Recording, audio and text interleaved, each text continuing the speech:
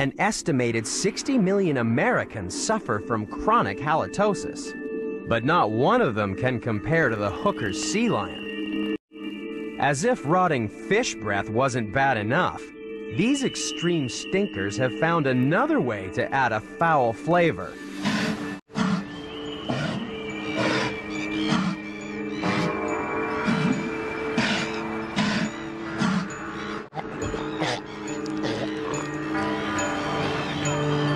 Throwing up is the perfect way to get rid of those indigestible fishy leftovers and to add the aroma of vomit to an already putrid breath.